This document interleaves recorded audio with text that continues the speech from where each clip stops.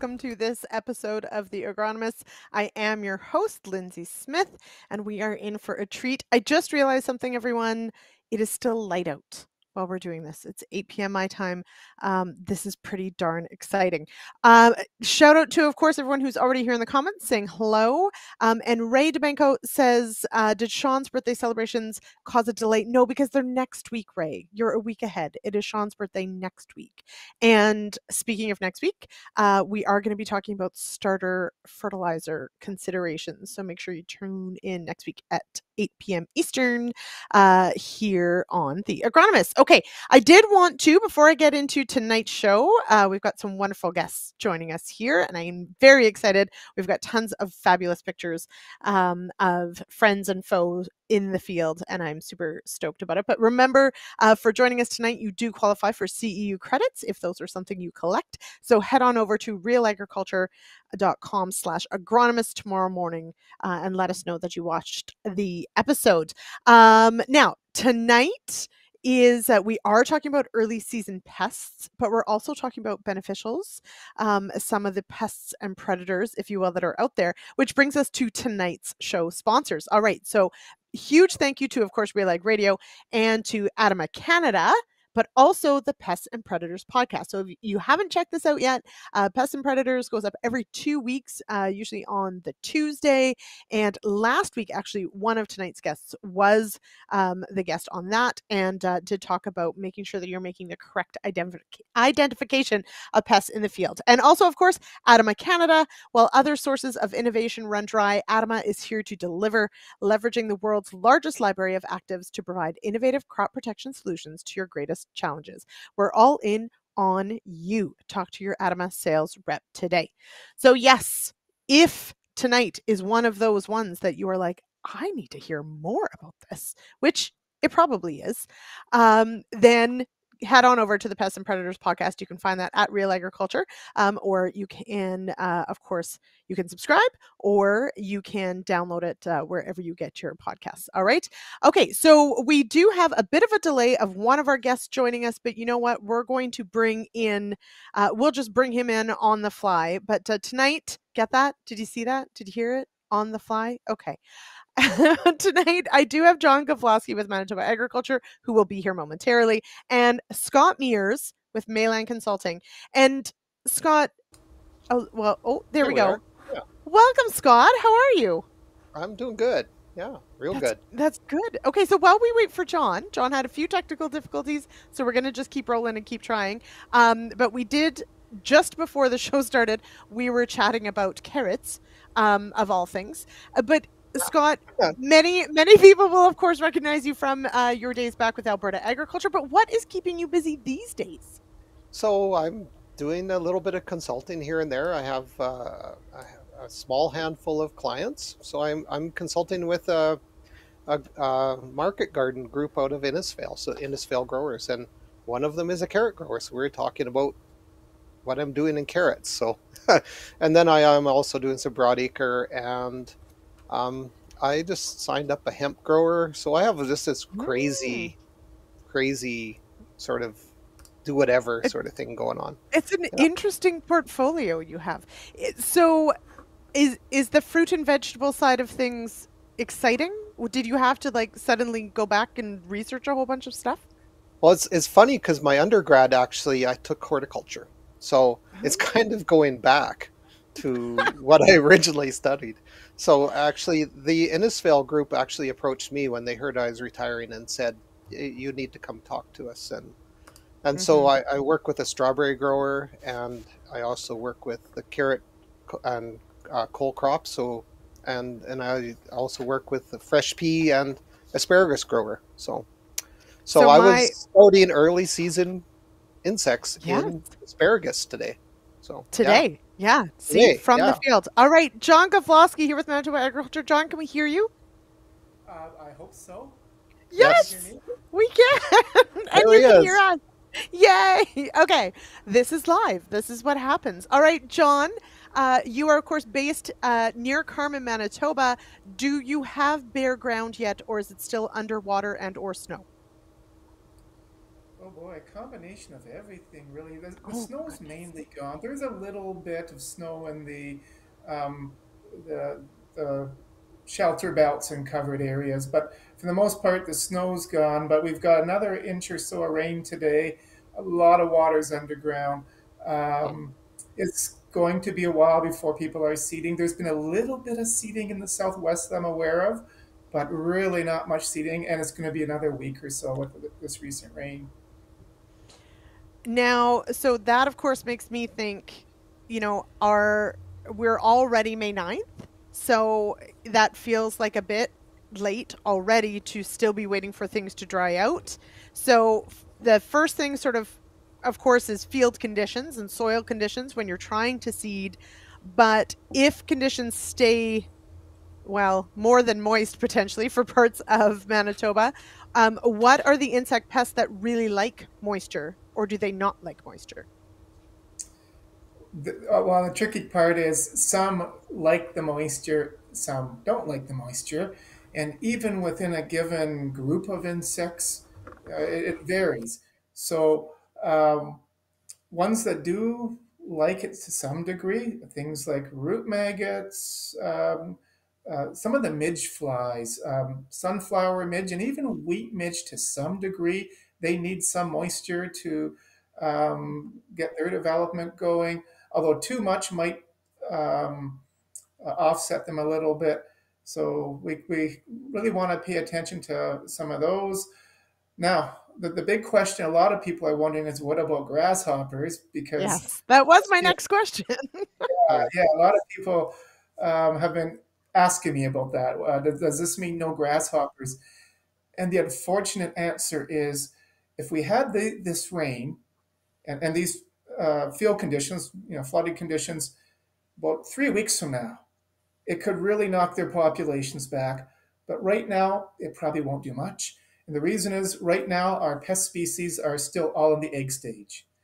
And that egg stage is very resilient to excess moisture.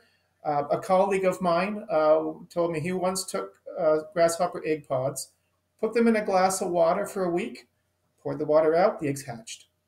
So Mm, um, the, the, the flooded ditches and fields right now, unfortunately, won't likely mean uh, less grasshoppers.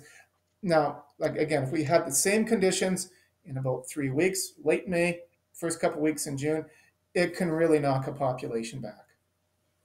But at this point, that sounds like a nightmare for everyone in Manitoba who is dealing with too much moisture. And what a, a turn of events from last year being so dry. So Yeah. Now, Scott, different. Uh, you're, you're of course you're in Alberta, different uh, conditions entirely. But tell us where you are in the province, where you're ro- working mostly. Are you dealing with extreme dryness right now, or is it not so bad?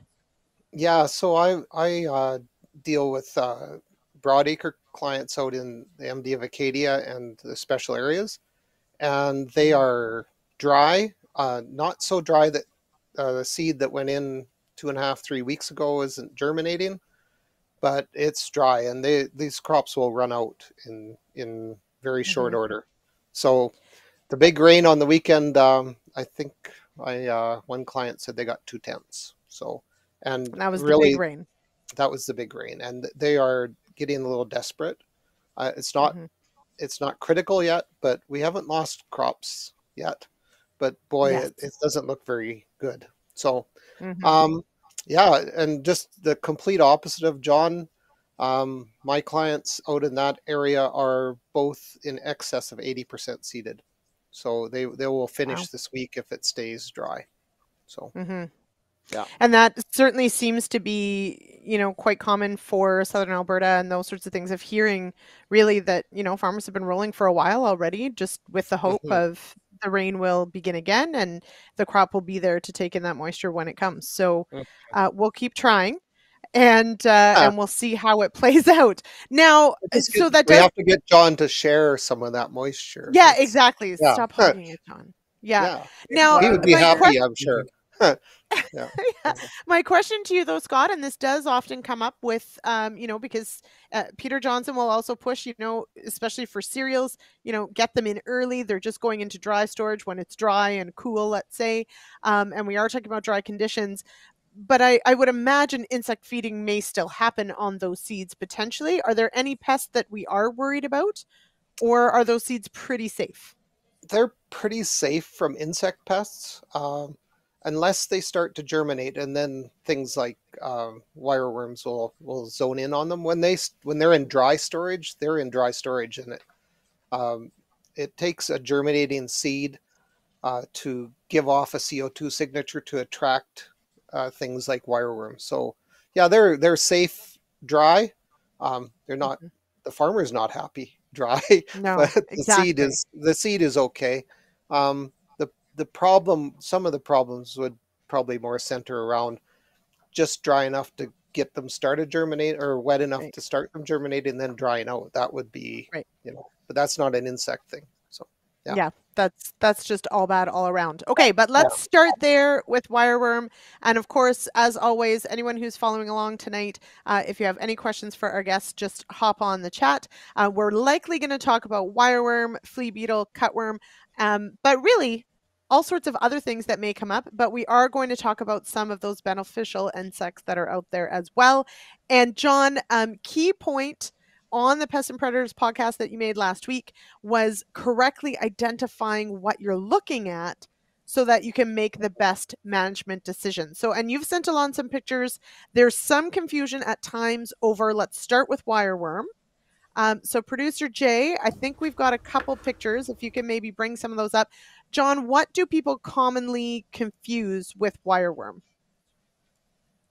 Probably the most common one that I get is something called um, Therevid or stiletto fly larvae, mm-hmm. which are quite pale, white. They thrash around a lot. Um, so they're, they're different than a wireworm in, in several ways. Uh, centipedes are another one. I've had people bring in samples of centipedes wondering if they were wireworms. Um, okay. There is another potential pest called seed corn maggot, um, much smaller than wireworms. Um, the usually a little bit less significant in what they do, but they can be a economic concern. And even things like um, some of the uh, white grubs and things when they're small, people mm-hmm. might confuse. But probably the stiletto fly larvae and centipedes are big too. Okay, so th- this is wireworm, right? That we're looking at right now. That is wireworm. Now that is one of our prairie species here. That's called Hypnoidus okay. bicolor. And my apologies for the Latin names. There's no common name for this one. Uh, it's actually the most common of our prairie species. It is one of the uh, pest wireworms, I'll call it. Uh, it's a smaller species. It only gets to 10, 12 millimeters. Uh, there's another species that the prairie grain wireworm that is more of an or, yellowish orange than this one. This one's a very light, uh, almost pale yellow. So there we go. So mm-hmm. uh, prairie grain wireworm, more of an orangey species, a bit bigger. They will get to almost an inch, uh, about 20 324 millimeters. So wireworms can um, vary. So just to, uh, I guess, uh, cover a few things about wireworms. They're a big group. So they're, they're a group of beetles, uh, the group. There's 385 species of them in Canada. And there's about 30 that we consider to be potential pests. And there's a, a couple in the prairies that are quite common. They're a beetle larva. So if now it's hard to see in this picture, but in the previous one, uh, if, if, we can go back to that, Lyndsey, yep. um, you will notice up near the head, there's three really small pairs of legs. So in the, in the top beetle larva right. on the top one here, top yes, left, the top one. Yes, yeah, yeah, yeah. You can see it. That's right. The bottom one you can't really see the head end too well, but on the top one you, you can see those three little pair of legs. Um, and they usually have a little, what looks like a notch near the back of the body as well. So those are a couple key things. Okay. Whereas some Did of the really... things people confuse them with Yeah. So, John, can I really? So, centipedes, really? They seem distinctly different.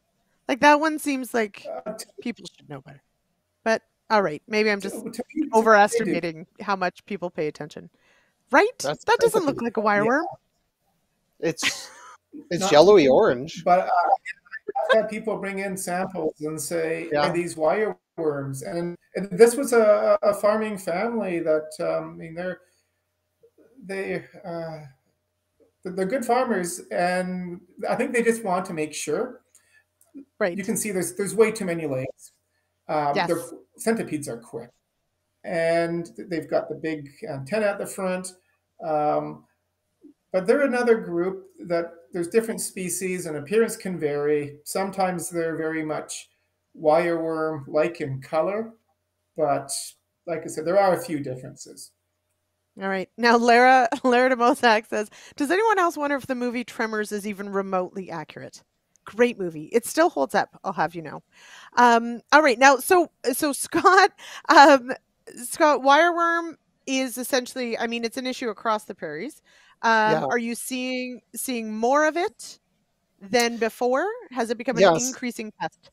in Alberta, it's it's not exclusively, but mostly a southern Alberta problem, and we do have the two species that John talked about.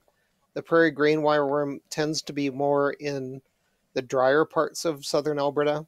Um, along the foothills, we have Limonius. Um, what the heck is the last? Any it's a Limonius You could- the genus? You could make it Um, up, Scott, and we won't know. It's- it's- well, it's- John might, but I won't. yeah, I just blanked out on it. I was, I was just reading it All right. Limonius californicus that we're thinking of. there. Californicus, yeah. So it Oh, is there you go. um it is also called the sugar beet wireworm, but we're finding along the foothills and in irrigation. And we Mm. do get hypnoidus bicolor as well, and there are some fields where it's quite severe. So those are the Mhm. three main ones, but really it all all the major wireworm problems are in southern Alberta and some extremely severe problems in southern Alberta. Right.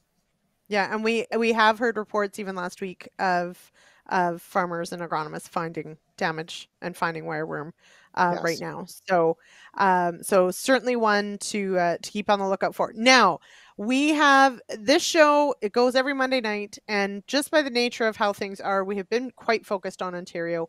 Um, but this show will largely focus on the West, but that's okay. Some of these pests also happen on Ontario. So bring on, challenge these guests if you'd like. But we, of course, we cannot talk early season pests with without talking about flea beetle. Um, and we're probably going to talk a lot about flea beetle, but we're going to take a, a, a quick look at um, a clip from a canola school episode with Autumn Barnes because she makes a key point about even if you don't see the pest. Uh, it's not the pest you're looking for, it's the damage that they do. So I want to use this as a leaping off point for our next discussion. So, Jay, could you run that clip with Autumn?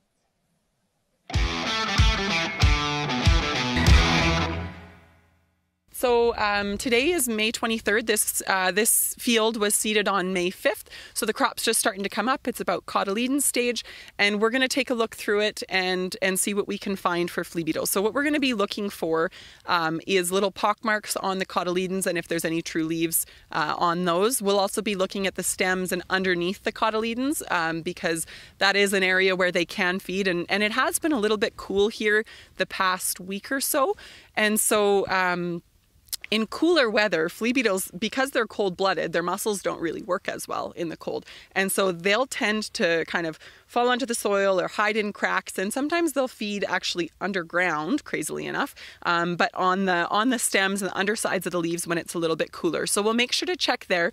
Today it's a beautiful warm sunny day, so we might see some flea beetles hopping around um, or feeding on leaves, but it's really important when we're when we're scouting for flea beetles and we're assessing damage that we don't we don't use the presence or absence of the beetle itself as a, as a way to decide if we're in trouble or not. What we're looking for is the damage, and if that little canola plant is growing actively and is going to be able to grow past that damage. Um, and so, if it looks like the canola plants are really suffering, if we have more than 25% damage and it looks like um, they're just, you know, we're still at a cotyledon stage and, and this and a field or maybe a part of the field like the headlands, is um, is really infested with them, um, not seeing them is not necessarily going to mean we don't spray because they can be hard to find. And, you know, I said it's warm. There's a bit of a breeze picking up, and flea beetles actually don't really like the wind. They're a tiny little insect, they can get blown around by it. Um, so, so if it's windy, and generally windier than today because it's not that windy, but if it is windy, then that's another reason you might not find them. Can you tell me a bit about what damage actually looks like on the cotyledons? Sure. So usually it looks like a little pockmark, kind of like a divot on a golf ball. Um, and and so they can take they take little bites because they're tiny little beetles, right? They take little bites, and if if there's a lot of them feeding really voraciously, then the pock marks will get big. Um, sometimes the pock marks will kind of dry out and turn brown, um, but if they're fresh bites, they'll kind of sometimes be a bit of a darker green. And fun fact that I just learned about flea beetles recently is when they when they chew on canola, um, the canola produces a compound, basically um, kind of like a, a, stress thing. You know, it gets chewed on, and because flea beetles are um, they're they're specific predators, right? Like they're they're they're um, they're specialist predators, right? They want to feed on canola and brassicas, so they can actually sense that, and they'll come more. So if you have a bunch of cano- a bunch of flea beetles that are emerging from, um, you know, maybe a tree line or something where they've overwintered, and then there's um, there's some can- uh, some canola there, and and flea beetles are feeding on it, they'll actually realize that there's some good food there being eaten, and they'll they'll cluster to it. So that's why we'll actually sometimes see um, um, you know, flea beetles with a lot more pressure on the headlands or kind of near tree lines and things like that because they're coming out of where they've overwintered and then they they kind of all come to the party, I guess, to start eating. So. And do you usually see them throughout the year, or do you only see them at springtime? Yeah. So they good good question. So they overwinter. They come out as so they overwinter as adults.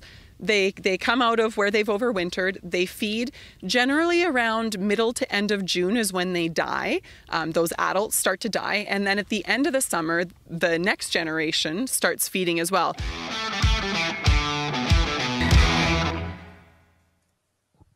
So, um, thank you, Ray, for noticing that I got to a clip. High five me. But also, I'm going to challenge autumn on this idea that windy conditions deter flea beetles because then how would southern alberta have any? So that just all i hear from from anyone who lives in southern alberta is the wind. Um so there we go. Okay so let's talk flea beetles. John i'll start with you very quickly. Are there things that we mistake for flea beetles? Because that one seems like one of the ones we really need to have our head wrapped around. So do we know what flea beetles look like 100% of the time? In most cases, I think people are pretty comfortable with what a flea beetle is. There are things that you can confuse. Now, one that can be common in fields in the spring is a very small ground beetle called Bembidion.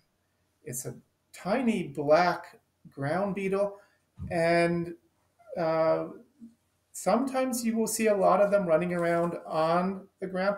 Now they don't jump like a flea beetle, right? And uh, shape-wise, they're a little different, but that's the only one I can think of that a person would likely confuse. But the thing is with Bembidion, they are on the soil where they blend in well, not on the plants.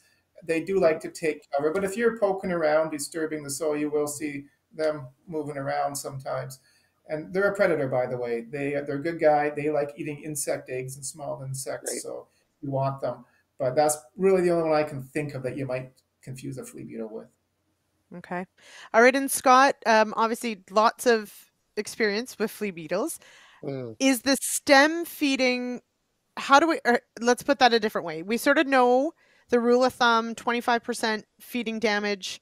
Uh, we probably need to take action because by the time you get to 50%, we're in trouble. Right. How Fair. do we gauge stem feeding? So stem feeding is is really tough, and um, it it seems to be more related, but not exclusive to to the striped flea beetle, and okay. um, I think we see more stem feeding by uh, striped flea beetle because it's it's early more it's active earlier in the season. Okay. So we're more prone in the early season to get those cold days uh, where the flea beetles are forced down on the plant to shelter.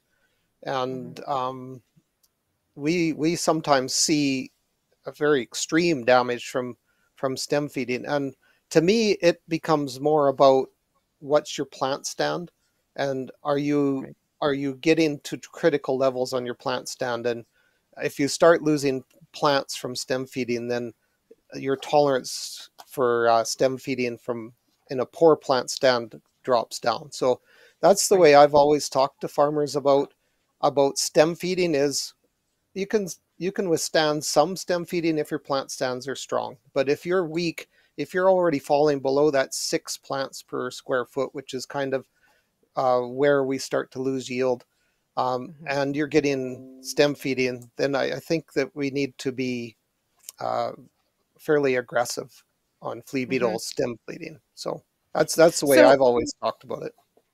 Yeah, and and one of the key parts here, of course, is flea beetles are. I mean, they they damage the cotyledons. They do the stem feeding of a very tiny little plant.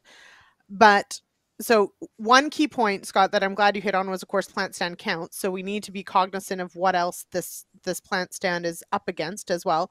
But how important is active growth at that time when you're making that call? Do you do you spray or not spray? How do you work in sort of crop conditions and growing conditions? Because that's a Well, big one. we tend to get stem feeding when the crop's not growing well. So that's that's the double whammy right there is they go down like flea beetles really like feeding on those little cotyledons and the, uh, we don't really see stem feeding in good conditions. They tend to they tend to move up on the plant on good conditions. So we're not I, I've never really seen extensive if we've had a run of good weather, um, we don't seem to get much stem feeding if we've had a run of good weather and the canola's up cotyledon stage and then we get like this morning which was you know sleet and Yes. snow in Yeah, I saw calgary that. and um, then where do the flea beetles go they go hunker down and and yeah, Yeah. Um, then you start losing plants so um, yeah I, I don't think it's i don't we don't tend to get I, I haven't really seen it where we we get stem feeding in good growing conditions so Okay. Yeah. Um, now, so John, so next question, but I'll I'll preface it with this. So, so we Autumn did say, of course, where the adults emerge in the early spring, uh, they feed, they die off. Now, I have been in a field late, uh, late in the season, and it is covered in flea beetles. So Mm. Scott Gillespie shares the next generation, so that fall generation loves tilled ra- radish, radish planted in early August, which makes sense um, in the radish family. Um, but should we worry about what fall numbers look like? Are they indicative of, of what we can expect the next year? Or how much does that fall, you know, they're everywhere? Should we be panicking or do we just ignore what happens in the fall? People have tried researching that, and it's not clear cut. Um, sometimes the fall levels seem to line up quite nicely with the spring. Other times they didn't. So the, the research, the, the reason we don't have a good, say, forecast map for you is the, the, the, the studies that have been done had a lot of variability in them. So um, use that guideline with caution. I always suggest that uh, if you do have a lot in the fall, uh, be prepared for flea beetles in the spring, but there is no guarantee, of course. So Right. uh, use that as a guideline. Um, now, that being said, we've had chronically high levels for Yeah. several years. So going into this year, I've been telling growers, expect it. But really, in the springtime, the amount of damage you get, which is what Autumn was keying in on, uh, flea beetles are only one part of that equation. The other part is how well those plants are, are growing. In Mhm. Manitoba, we might, I'm going to predict we might see less damage this year than the last couple of years because what happened last year, we were in the situation Scott was in where people were seeding into really dry ground. It took a long time for the plants to come up, and then when they did, we got some cool weather and they sat in the vulnerable seedling stage for weeks. Mhm. So Mhm. heavy damage. yeah. Now, this year, people are going to be seeding their canola quite late into hopefully good soil moisture, possibly some warmer conditions. If we get that really rapid germination and rapid growth through that seedling stage, uh, we may see a lot less foliar spraying than we did the past couple years. Mm-hmm. I certainly um, have heard of even with a seed treatment, of course, uh, spray being uh, required, um, and reseeding. Unfortunately, has happened when they come in fast and furious, and and you can't get ahead of them. Um, shout out to Warren Schneckenberger, who's actually planting here in Ontario. So high five, Warren. Um, Warren managed all last fall season to make the agronomist on Monday nights because he was not harvesting it was not a great harvest season no, for Warren. So no. yeah, so it was not a good reason. So I'm no, glad that uh, yeah, you're getting in the field, Warren. That's awesome. All right, Jason's got a great question about uh, crucifer versus striped flea beetle. Uh, so we'll tackle that one, and then I have one more question, um, at least. But Jason says no. Jason said in Manitoba, how much does the spring weather condition, uh, or how much do spring weather conditions dictate whether we see more crucifer versus striped flea beetles? John, I'll go to you um, as J- Jason is out of Manitoba, but Scott, by all means, uh, follow up if you'd like. So I think what you'll notice this year, normally in our normal situation in Manitoba, late April, early May, it's mainly striped. And then we get the crucifer coming out. And by late May, it's usually um, crucifer is becoming more dominant, at least in the southern part of the province. And, and as we go into June, they're by far the dominant species. Now, uh, when we go into northern Manitoba, a bit more striped flea beetles up there. I think what we'll see this year, uh, because we've had a very cool April, uh, we probably will still see striped being the dominant species when we do start noticing them. But by the time the canola is seeded and up out of the ground, I'm almost expecting uh, it'll be a, a, real mix of species. I don't. Well, they get both. Yeah. That dominant striped population early that we we do on the seedlings. I think it'll be a real mix and maybe even do, more dominantly crucifer in Manitoba mm-hmm. this year. Okay, Scott. Yeah, I, I think I pretty much agree with John, except for our timing would be a little bit later. So it'd be early mm-hmm. April, mm-hmm. uh, uh, striped, and then by or, or, early May striped, and by mid May we're seeing uh, crucifer. That said, uh, everything north of Red Deer is almost exclusively striped snow. So striped flea beetle.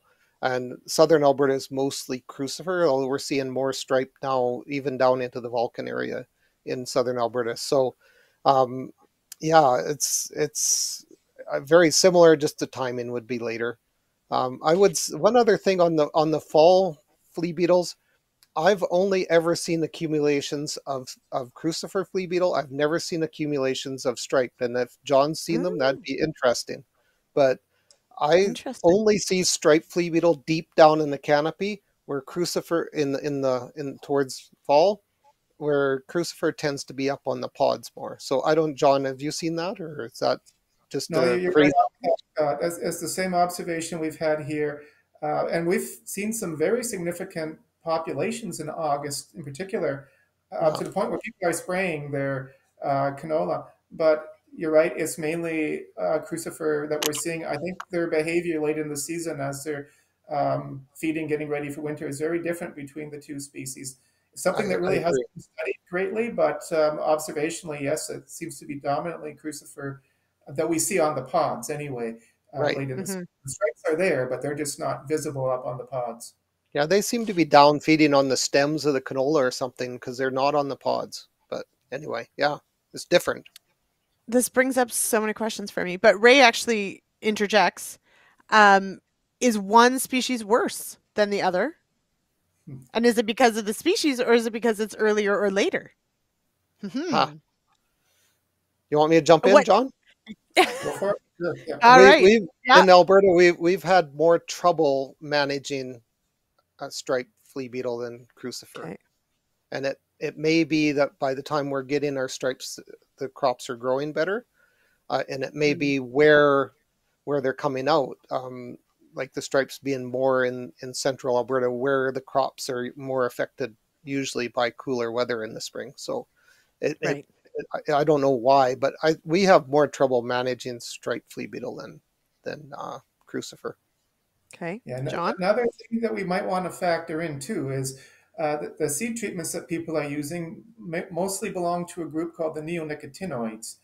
Right. And there's been some research at University of Alberta that showed that the neonicotinoids uh, work better on the crucifers than they do the stripes. It's not that they don't work on the stripes. There's no resistance, but I mean, flea beetles are a fairly large group of insects, and the, the seed treatments don't work equally well on all species. And it just so happens that they work better on crucifer, a bit uh, less well, I'll say. It's not that they're not working, but they're just not working as well on the stripes. So they don't Okay. get killed much, and they, they will do more feeding. Mhm. I just want to throw one crazy thing into the the mix. Is I was scouting uh, early seeded spinach this this week and or this this morning, and I was finding hop flea beetle on on cruci- on on spinach. So it's a third Hmm. species that is sometimes found in canola, but is not really a major issue in canola. And it's not a major issue here, but it's just weird to find another flea beetle, and and it it seemed to really like like the uh, the spinach. Not enough of them to get wild about, but it's there. And So, sorry, it's a hop flea beetle. Is that what you call yeah, it? it's Like called hop hops flea the beetle. plant, or Yeah. because it hops? I like to know it's it's it's named after. Go It ahead, likes John. hops as well. It likes But- hops. Okay. J- j- Just to follow up on what Scott is saying, flea beetles are a relatively large group, as I mentioned. Uh, Yeah. We've Mm-hmm. got over 70 species in Manitoba. And aside from the ones on canola, we do have one called the red-headed flea beetle that we sometimes see a bit of on soybeans and things. But there's also Yes. beneficial flea beetles. Flea beetles get a bad name because of the couple that feed on Right. canola primarily. But uh, agronomists might not like us doing this, but uh, we've done releases of flea beetles in Manitoba. But these are species that eat nothing but leafy spurge. So they've got a Oh. very diet. They're beneficials. Yeah. And Yeah. they're part of the biological control program for leafy spurge. There's three species that have been released and, and spread around. And it, um, it's been done in Alberta, Saskatchewan, uh, a lot of U.S. states. It's a primary way of managing leafy spurge. So uh, when we say flea beetle, There you go. everyone thinks, of course, the ones in canola, but we do have Right. beneficial flea beetles as well. So there Nicely you go. done. So Yeah, yes, there you go. I had no idea that's what that's what is. I had heard there was an insect that ate leafy spurge beyond goats, which are like a large one, um, but I didn't know it was a flea beetle. Now, uh, Jason wants to clarify: Is there one of the two species that prefers cool and wet, and one hot and dry, or is it just early versus late? It's more early versus late. I think they both like it warm and dry. John, Okay. you can jump in, but yeah, th- I always uh, uh, try to enforce in the growers that three beetle, flea beetles like three things. They like relatively hot conditions, um, they like it dry, and they like it calm. So those are the days when you really have to be scouting carefully, especially if you're past three weeks from seeding date. If it's Right. into the 20s um, and it's relatively calm and it's not rainy or too humid, those are the days they're going to feed most aggressively, whether it's striped or crucifer. Okay. Uh, Lara points out because I I wondered if Lara would hop on here. So hello and thank you. Uh, she actually worked with hops, and not even when she worked with them did she see a hop flea beetle. So Scott, you are a blessed man. And Huh. Ray DeBanco stole my joke because if they were feeding on spinach, those are Popeye flea beetles. okay. Ray, it, I don't know if I should be scared or really chuffed that we have the same joke. Um, okay, so I'll let you decide that, right? Uh, all right, we we only have about 15 minutes left, and uh, that's not a lot of time because we haven't yet cut, talked about cutworms. So, Right. and and we need to because this is one of those ones where I okay. First of all, they're gross. I mean, not as gross as white grubs, but they're gross. Um, but also, I mean, the damage that they do. You know, we can find these bare patches and just there's nothing left. The plants are gone. Um, Mhm. And how do you control something like this? So, Scott, maybe I'll, I'll start with you. How do you how do you anticipate a cutworm problem? Boy, that's tough. Uh, there's not really a good uh, forecasting system. Uh, there are pheromone-based systems, but um, they were done by uh, Dr. Bob Byers way back in what the 60s, 70s, maybe. Um, but he could not find correlation between moth catches and, and outbreaks. So, so good pheromone systems, uh, but not good pro, uh, um, not good predictions. So um, there are some some I guess factors that lead to potential problems. Um, we, we see some species really like green material in the fall, but not all species. Some species, and then there are there's a really excellent book out or uh, publication out by Ag Canada on on cutworms, and anybody that's in the field should actually download this and have it in their back pocket because there's a number of different species and it's it really does help. So um, I was scouting asparagus this morning or this afternoon, and we were finding cutworm damage in asparagus. So that's that's an overwintering species, so it's probably like an army army cutworm of some sort. So um, we haven't found the actual cutworm yet this year. Um, last year we found redback and army cutworm, and we had to spray the asparagus because it was it was causing significant damage. People don't like half-eaten asparagus for some reason. I don't know why. Weird. But- Weird, right? yeah, previously weird. previously enjoyed asparagus. Um, Yeah. Okay, so so John, let's let's maybe add to that cutworm being, you know, one of those ones exactly that that can cause some serious damage. Um, do we have decent control options though? Because I mean, it it they're hard to find, like Scott even said. Yeah, you know, it's a complicated question because when we're talking about cutworms, we're not talking about one species. We're talking about a complex of species. Mhm. And some species uh, spend a lot of their time in the evening above ground, feeding uh, either on the, the leaves or the stems. And for those species, uh, insecticides will work better. We've got other species such as pale western cutworm and glassy cutworm that really don't come above the ground much. And insecticides just don't work well on those. Um, so it, it depends on the species to some degree. And even the amount of damage they're going to do can vary greatly Mhm. between species.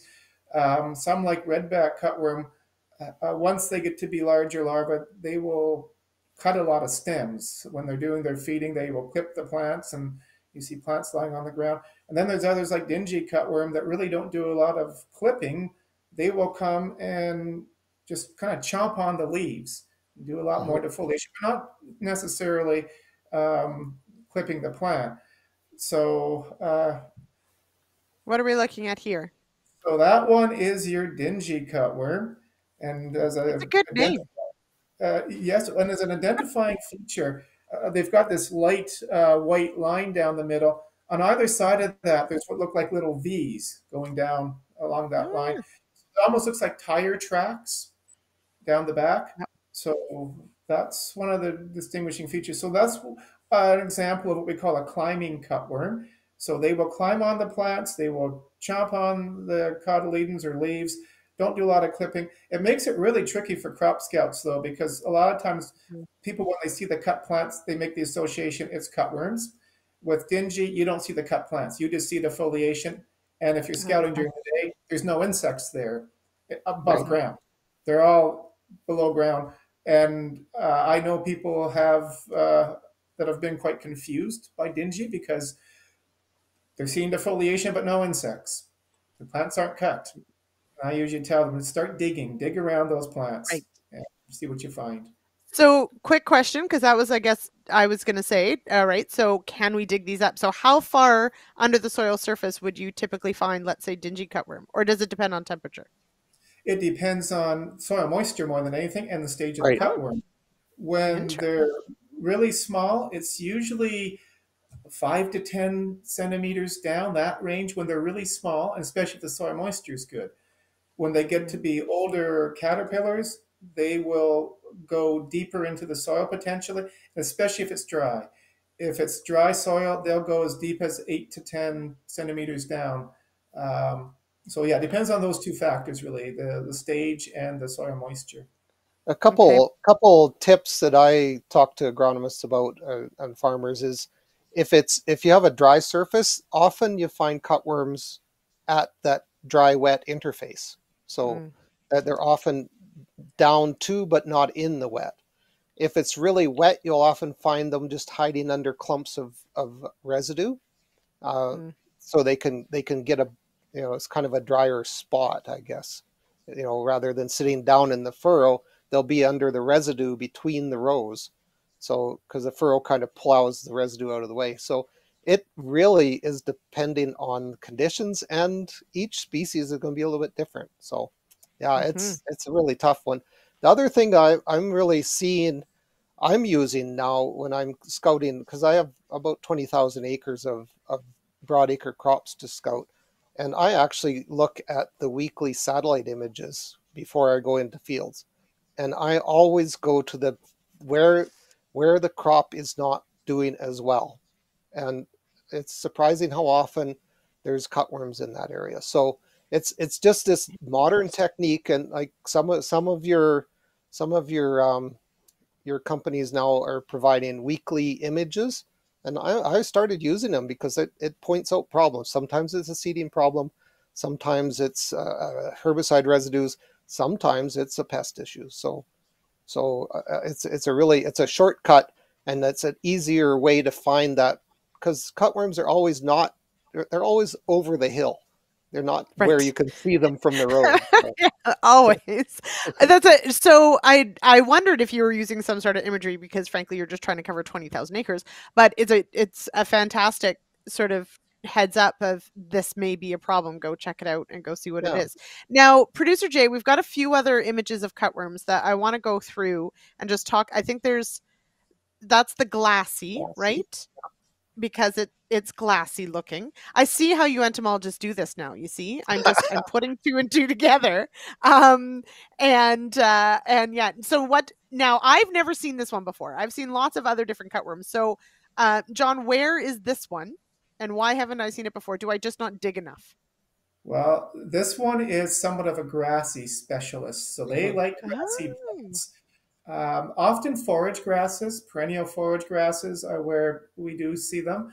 Sometimes you will see them in wheat, especially if people have been growing wheat on wheat for yeah. a few years or yeah. other cereal crops. Uh, rotation may help reduce the odds of them being an issue, but they're also a species that does not come above the ground to feed much. They do pretty much all their mm-hmm. feeding below ground. So when they are an issue, they're very hard to deal with. Um, people have done insecticide trials on them, and the results are not usually very good. So, uh, yeah, uh, rotate your your grains. That'll help go. reduce your risk. Yep. But yeah, in Alberta, right, now, our oh, our ahead, major yep. problems with this pest has been in in uh, perennial grass stands. So right. we have had a, a couple fields of on wheat on wheat, like John says, but really this is this is more a perennial grass stand issue issue for us in Alberta. Okay. So so following up on that, of course, so understanding life cycle, understanding what they eat, live on, um, and John tweaking into something John said as well about um, and you know that green material in the fall. So Manitoba had what they called zombie canola, which was canola that had gone dormant and then started to regrow when the rain came. It actually flowered, some even potted. So Jason's wondering so, as an agronomist, are those fields you should be prioritizing potentially for cutworm scouting? Is there any correlation? Is there any data? John, maybe I'll start with you because it's in Manitoba, but Scott for sure would love to hear your thoughts on if if yeah, we have any correlation. Very good question. Um, there's been a couple studies where they've looked at the emergence and egg laying period of cutworms, specifically redback and uh, dingy, some of our more common species. Most of the emergence and egg laying happens in August. So even if you have a lot of green plant material going way into October, it doesn't mean you've got this extended egg laying period. Now, one thing that could happen, again, uh, with emergence and egg laying, like a bell curve. Uh, the, the peak is in about mid August. Some of it's happening in early August. And then you've got some happening in later August, maybe into September. Uh, but usually, with most of our pest species, most of that egg laying is probably done once we get well into September. So uh, I, I don't know that you'll see a lot more of the cutworms in um, in, the, in those fields that have that late green growth. Now, for some species, though, that overwinter as partially grown larvae, this is where it gets complicated again. Yeah, some again. eggs, others as partially grown larvae. They may be off to a good start, having that green growth to feed on and that later season. Yeah. So in Alberta, we get uh, an army cutworm that searches out green areas in the fall, and when we get an outbreak of that insect, it's always always in fields that were green in the fall. Now, I Mhm. don't think that correlated with like we didn't have a major flight uh, last year because we actually see a flight in June as they're moving. This is a crazy species, but they fly to the foothills to go on a summer holiday, basically. Holiday. Yes. Yeah, they, they they go into summer estivation is what it's called. Is a they hide under rocks and stuff, and then they come back out in the fall. So we didn't see that last year. So we're very unlikely to see army cutworm in any numbers, but they Mhm. do really like to lay eggs in green material in the fall. Um, but it's not the same with each species. Redback cutworm in Alberta often lays eggs in pulse stubble. Um, pale western lays eggs in loose soil. So it's very species specific. So I know it may Right. probably different in in uh, Manitoba, John, but that's that's kind of the trends we're seeing in Alberta. Yeah, I think the big difference is the species difference. We don't see a lot of army cutworm here. It's a little bit too far east. Some years we do see a bit, but um, because of their flight back to the Rockies, we just don't get as many as uh, you get in Alberta. So that's the this is the army cutworm here. And No, uh this- no, That- this, this one's black army cutworm. Yes, Oh. which is different than there's the a, there's oh totally different. Like Yeah, I mean, well, what the heck? yeah. You come have on, guys. I should have been onto that black, so you should have had black Right. in the name. Black army cutworm. Got it. So different. Yeah. Um, Wow. okay, so but it is distinct. These are different. And apparently I need to know where each of them lay their eggs and when to actually know these things. So um, I did want to quickly before John, you tell me about these ones. Uh, Peter Johnson did join. Hi, Pete. Um, glad of you. Glad you could join us. Um, but he did point out lots of army cutworm in Kansas this spring, and I do remember uh, hearing Mhm. about that as well. That that the levels were incredibly high. So this is uh, one of those pests that can at times just be in incredible uh, numbers as well. Yeah. Um, Lara would like to know how you spell the term that you used, Scott, where they go to the, the foothills Es- and they hide in the estivation? Yes, It's estivation. A E S. I don't know. Okay, Yeah, estivation. Lara It's- got it it's- right, Yeah. and and and also you win for spelling bee. That that was an Oh. impromptu spelling bee, and you totally win. There well, you I just go. got the AES part. wrong. Yeah, the AES. that is. I have never heard that term before. It's my new favorite one. Um, so I'm going to write that down. Okay. We're running short on time, but John, there's a few things I wanted to cover, and both of them, well, I'll start with you, but Scott, of course, hop in. Um, two things. Do who eats or preys on cutworms? And do flea beetles have any predators or parasitoid species? Let's start with cutworm. What kills cutworms beyond me and my trowel? Because I do like to cut them in half. But other than that, what what gets rid of cutworm for us? Cutting them, in, cutting them in half is part of the what you're supposed to do when you find them. Because if they're green on the inside, then they're feeding, and if they're Oh. not green on the inside, they're they're actually probably molting. So So I do it to make myself feel better. But thank you, Scott. Now I but I sound now very you have a justification. Yes. Exactly. Sorry, John. like go ahead. no, yeah, John, go ahead. I cut in on you. So no, uh, uh, actually, uh, I'm just going to follow up on Scott's point. Uh, sometimes when people uh, control cutworms, spray the field, they'll go up. They like to go out there the next day and make sure their spray worked, and they'll find the odd live cutworm still, and they'll be thinking the spray didn't work. Uh, when cutworms go through these molts and they don't have the green stuff in their gut, um, because they go through six stages and they have to shed their skin, and they're not feeding for a few days when they uh, are going from stage to stage. So they're not going to be killed by the insecticide if they're going through a molt. So if you're finding a sizable proportion that aren't feeding, um, I guess my main point is uh, go back a couple more days and see. Sometimes the spray doesn't get them all the first time, but the products we're using all have enough residual that after that second or third day, those molting cutworms will now be feeding and they'll be killed. So don't write off that you sprayed at work after day one. Um, back to your original question. Um, what? Yeah, what kills them? Come on, there's Yeah, got to be so, friends. um, so uh, as far as predators, uh, ground beetles probably top the list. And ground beetles, they're an incredibly diverse group of beetles. We've got about 980 species roughly in Canada. So hugely diverse group. Um, they're nocturnal predators, and I know everybody's seen these. When you turn over a clump of soil or a board or a stone or something, and you see these black, usually black or brown beetles scurry around. Those are often ground beetles. Um, we had a pet ground beetle we kept in our lab for uh, summer, and Of course we were you bringing did. Of course yeah, you did.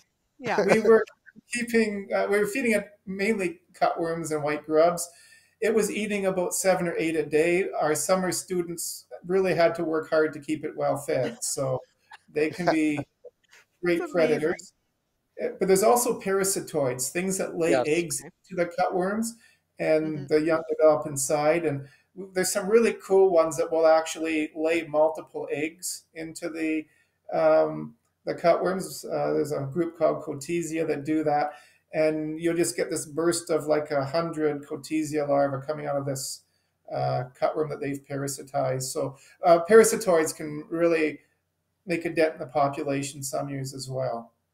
Mhm. we, we see so that with with the army cutworm we get in Alberta is we actually have a multinucleate um, uh, parasitoid that lays a single egg, but it divides and divides and divides, and you actually literally literally end up with hundreds. And I think the record is like 2,500 little wasps that come out of a single cutworm. So from so from one multi- egg, nucleate. multinucleate. I think that's right that word too. Yeah. I- See, Yeah, See, this, this, this is a voc- vocabulary lesson. this is yeah, this is what I'm learning tonight. You guys Yeah. thought it was about insects. It's not. It's just so I can win Yeah. at Jeopardy. Um, yeah, yeah. that's it. Okay, so which is fascinating, and this is the thing that um, if anyone sort of rolls their eyes at at insects, because I know lots of people that lots of farmers like iron or you know agronomists love scouting and soil testing but the insect world is just so incredibly fascinating and there are such cool things just like this. So um, i do appreciate being able to share some of these things. Um, john quickly there was a question about predators of flea beetles. So uh, do we have any good ones that that would take care of the crucifer or the striped for us or no? Hmm, the word good is subjective. Uh, Ah. we, we know of things that eat them, whether they're good or not. Um, the difference with flea beetles, like a cutworm will, is slow and it's a really easy target for a ground beetle or um, rove beetles if they're small enough. The cutworms. Flea beetles are quick, small, not the same type of meal so we know things like damsel bugs have been reported to feed on them, big-eyed bugs, uh, even certain species of ground beetles, uh, even field crickets have been recorded to have fed on flea beetles because they're omnivores, field crickets. Um, lacewing larvae, but again, I don't think they're a big part of any of their diet. It's more incidental. They happen to come across one on a cool enough day that it didn't jump away quick enough, and they included it in their diet. Uh, so observationally, people have seen various um, predators eat flea beetles, but I won't go as far as to say we have any good predators of flea beetles. And even with the parasitoids, we do have some parasitoids, but they're just not as effective as the ones that we see with uh, some of the cutworms. some of these other ones okay Yeah. i'm just i'm somewhat disappointed so if you guys could work on that um that would be great is my spare So now time, we've- yes. Yeah in your in all of your spare time if the two of you could get to work on that. Um Yeah. okay so we've we've talked a bit about now this is just one hour so of course we can't cover it all but uh jason does ask so we've talked wireworm we've talked cutworm we've talked flea beetles which are perhaps the major ones. What other insects should early season only um let's focus on early season for now. Are there any species that we've missed that we can maybe mention that agronomists should be on the lookout for I think um, grasshoppers are a little later so grasshoppers, yeah, grasshoppers really won't emerge in Alberta until late May and early June. So um, I, I think one thing we see in southern Alberta on Menard land is we do have a, a little uh, gr- uh, grub, so um, uh, that does cause some damage. We see that often early in in Menard field, um, but John, I'm I'm drawing a blank. I'm sorry, Well, I'll throw two more into the mix, and one is alfalfa weevil. Mhm. Um, it uh, it's been a pest in pockets in Manitoba, uh, especially the eastern and interlake part recently. Usually, it we start noticing it in June, but it's usually out even in late May. But June is when the larvae are doing their most feeding. It's the first it's a first cut problem in alfalfa. So as we get go into June, uh, alfalfa weevil should be on your chart. And cycling back to grasshoppers, even though they are more of a later pest, we do encourage people to start your scouting in early June because we do know that they have a very clumped distribution in the way they lay their eggs, and it's often on a field edge or a area Right. outside of the field, and areas that had a lot of lush green vegetation the previous season. If you can pick up that there's an incredibly high population concentrated ar- around a field edge in June, and you do that spray, usually the good a good timing for that spray is late June, very early July. The earlier you can pick up on those heavy populations, and the earlier you can manage them, the uh, more successful you're going to be. Trying to deal with them later in the season when they've got their wings and they're moving around, it just doesn't work as well. So start your grasshopper scouting um, in June, even early June in some areas, and we have known people to even be spraying by mid-June for grasshoppers, um, where where they find these big patches coming up. Just don't spray too early uh, before you start to see wing buds because you're probably only uh, affecting a, a, a small proportion of the hatch. Right. Give them time to hatch out.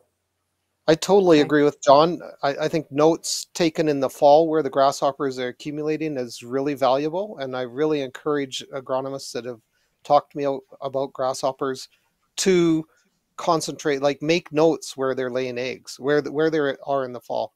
One I'd throw in that John helped spur me, uh, and I did check uh, peas today. Is pea leaf weevil is active this time of year and are really really good at finding early seeded peas. So we will start to see pea leaf weevil damage now.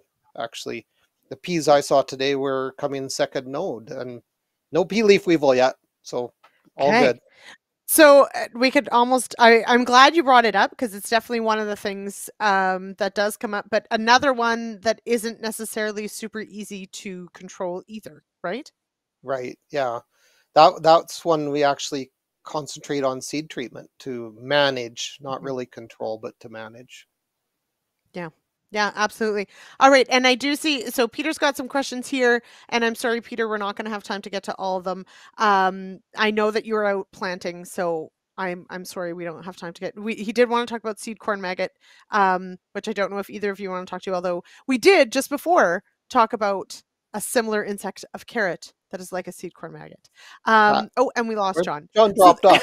So John seed corn maggot. now it's just you, me. Yes, Yeah. seed corn maggot is uh, the only place we've seen seed corn maggot is in dry beans in Al- in Alberta. We don't really other otherwise have it as a problem. I know John did mention it, and um, I believe there's registrations for um, for seed treatments as well for seed corn maggot if if that's a per- perennial problem. So Mm-hmm. Yeah. Yep. Um, all right. Okay. So we've already lost John. He must have, he just at, you know, nine Eastern, he turns into a pumpkin or something. it's Um, well so- nine o'clock is beer time. So oh, it must be. Yeah, It's nine. yeah, well, it's yeah. nine Eastern. So there you go. All right. Thank you so much, Scott. Thank you to everyone in the comments. Um, and yes, we'll have you on again.